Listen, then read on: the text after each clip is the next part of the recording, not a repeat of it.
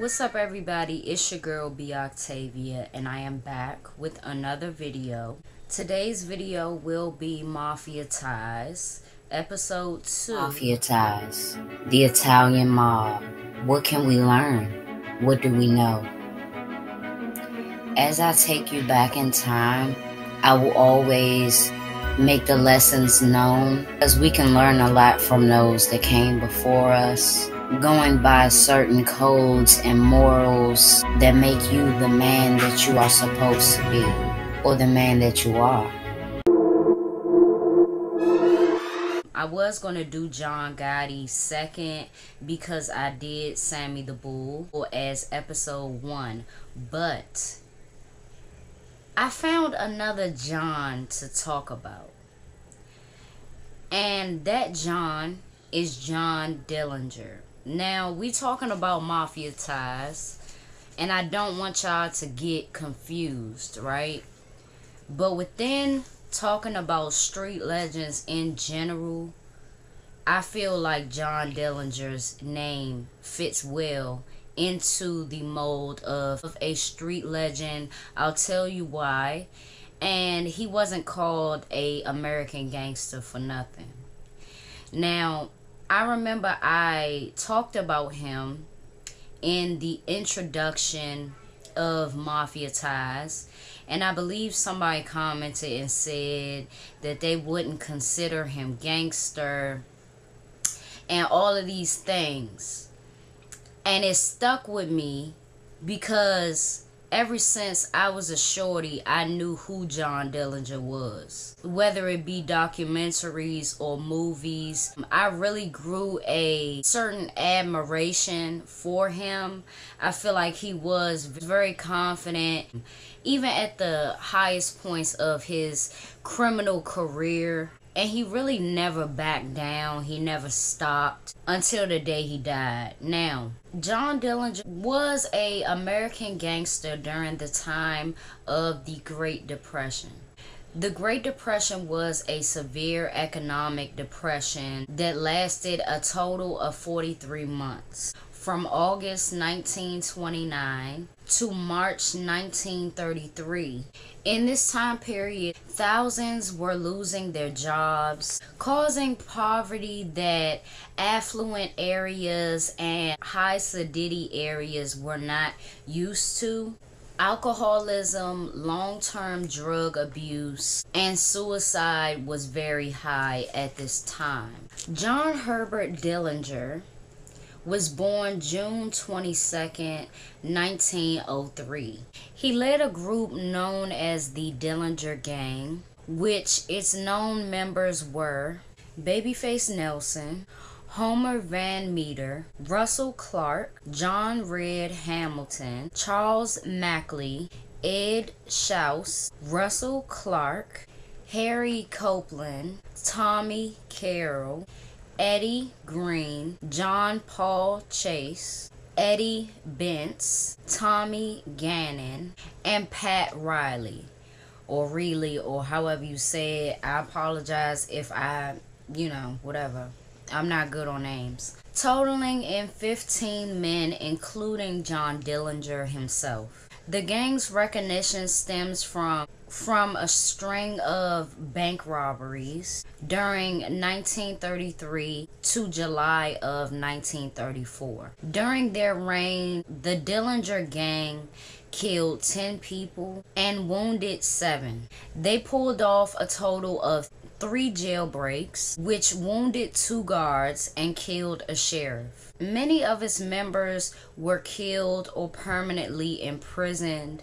However, the FBI's main focus was John Dillinger himself. He was public enemy number one. John Dillinger was imprisoned several times and escaped twice. His criminal charges range from bank robbery, murder, assault, assault of an officer, and grand theft auto. He was charged with murder but was not convicted. In Mr. Dillinger's early life, his mother died when he was very young. He was only three years old. She passed right before he turned four. His older sister looked after him until their father remarried. His father was a harsh man, and only Lord knows how their relationship was in John Dillinger growing up. In 1922, he was arrested for auto theft, and at that point, his relationship with his father declined. His father didn't want a criminal son, and he did not want his son to go down that path. He had hopes that his son would turn it around early, but but it was a battle. From that arrest, he enlisted into the Navy. He got married in 1924. And as pressure mounted of keeping a job and keeping a happy wife, he decided to go on a robbery with a friend of his his first one. As a result of this robbery, where these men got $50, they were spotted by a minister that recognized them and he alerted police. During the robbery, Dillinger struck a victim with a machine bolt on the head. They were arrested the next day. Dillinger's co defendant pleaded not guilty, but Dillinger confessed to this crime. The minister that spotted Dillinger and his co defendant knew and recognized Dillinger because he knew Dillinger's father. And the minister and Dillinger's father speaking to one another about this, they got Dillinger to confess and to own up to the crime.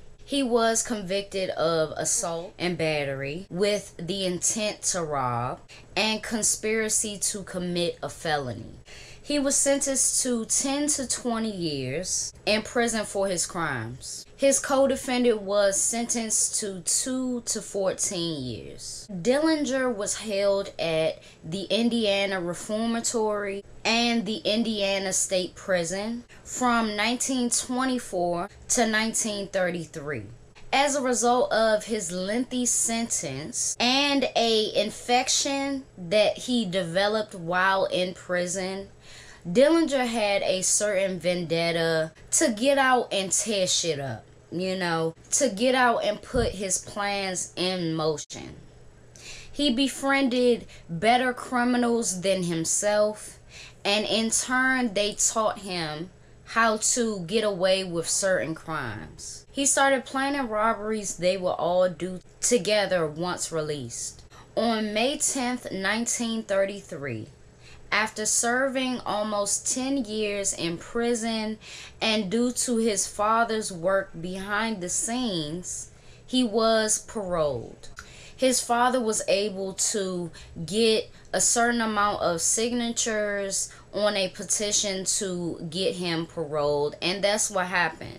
So although although Dillinger viewed his father as a harsh man, he really did love his son because he could have really gave up any hope, didn't try to help nothing, but he really saw that his son could do better. He saw better for his son.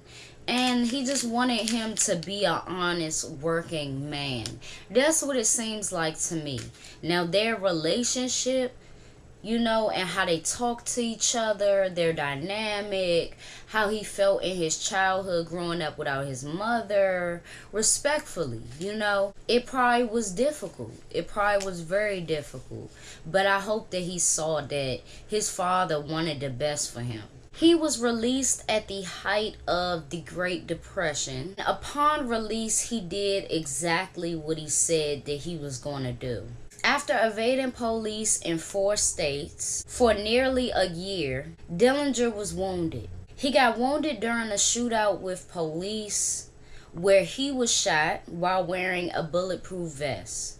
That situation was where he was charged with murder but not convicted. He went to his father's house to heal. Then he returned to Chicago in July of 1934 he laid low in a brothel, which is like a whorehouse. And um, this brothel was owned by a woman that he knew. Once he got there, She acted like everything was everything, and she alerted police. Being on the run and committing 24 bank robberies, including robbing four police stations. He had a bounty of captured, dead, or alive. And on July 22nd, 1934, local law enforcement and the FBI closed in on a movie theater that Dillinger was at with this female who owned the brothel. As Dillinger was leaving the theater, Dillinger started running and in the process he drew his gun. He was killed not too far from the movie theater. People can be seen in photos taking pictures of his dead body and soaking their napkins or handkerchiefs with his blood. They boldly cut pieces of his hair. I mean, just taking it as memorabilia. And I think that's the sickest part about it. Would Dillinger have stopped robbing banks? Would he have stopped breaking out of prisons? No, I don't think he would have. I think that he was very content with what he was doing and he saw a great happiness in it. I don't know if that happiness lasted for long, but he did see a great happiness in it, um, in the life of a criminal. Now, back to the point of is he a gangster or not? My thing is, if you want to make excuses like he isn't a gangster, if you want to make excuses like, oh, that was a long time ago, of course, the prisons wasn't high tech and this, that, and the fourth. And if you want to say that about the bank robberies too, my thing is just imagine how many people are in a prison um, versus the people that always plan to break out it's a lot of those. And then there are the people that actually execute the plan. What I feel about John Dillinger is that he always followed his plan. No matter how good, no matter how many people he hurt. And and there's a certain type of heart that you have to have to follow a very complicated plan. I don't really view any of the crimes that he committed as easy. And I think that a lot of people they want to say, "Oh, it was a long time ago, this, that, and the fourth. It doesn't matter about that. I feel like you have to have heart and courage, confidence, somewhat of a ego to keep following your plan. And sometimes it may not work out as far as you going to jail. But then you got another plan for a whole nother thing.